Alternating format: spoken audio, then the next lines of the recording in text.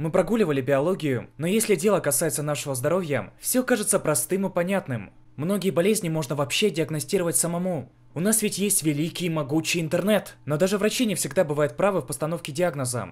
А среди простых смертных существует куча заблуждений по поводу того, как устроен наш организм, чем мы на самом деле болеем, а чем нет. Вот, например, старческие болезни. Мы привыкли думать, что после 60 многие страдают склерозом, а еще бабушки и дедушки часто жалуются на ревматизм. К сожалению или к счастью, но это все неправда. Склероз – процесс отвердения органов и разрастания соединительной ткани. Это может происходить в артериях, в сердце, в легких, и это даже не отдельное заболевание. Из однокоренных диагнозов существует рассеянный склероз – заболевание центральной нервной системы, при котором нарушается координация движений и ухудшается зрение. Но им болеют чаще всего люди в возрасте до 40 лет, и на память все это никак не влияет.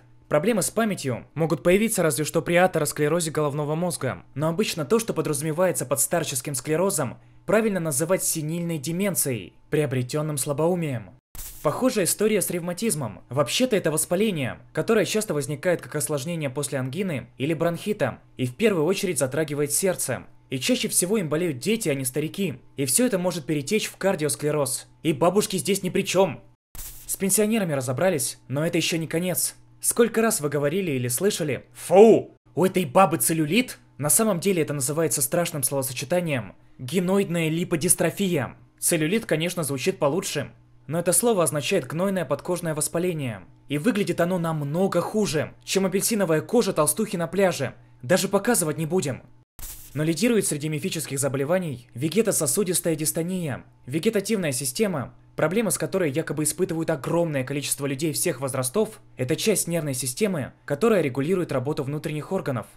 Наши врачи очень любят ставить этот диагноз, когда не понимают, что происходит с человеком. На ВСД списывают приступы тревожности, головокружения, сильного сердцебиения. Но такой болезни вообще не существует. В международной классификации болезней, например, ее нет. Зато симптомов у несуществующей дистонии хоть отбавляй. Правда, с ними лучше по очереди идти к кардиологу, неврологу и психиатру. Кстати, есть люди, которым постоянно кажется, что они при смерти. Это отдельное психическое расстройство, о котором говорили еще античные врачи, Гиппократ и Гален. Оно называется ипохондрия. Ее исчерпывающе описал английский писатель Джером К. Джером. Мужчина-ипохондрик, читая медицинский справочник, может найти у себя все болезни, кроме родильной горячки. В общем, лучше всего, конечно, не болеть, но на крайний случай можно хотя бы называть вещи своими именами. Есть вопрос? Добро пожаловать в нашу группу ВКонтакте. Там можно предложить любую тему для нового выпуска Научпока. Я радуга веселая, свежая дождевая, гуляя по лесочку, радует цветочки. Погнали, парни!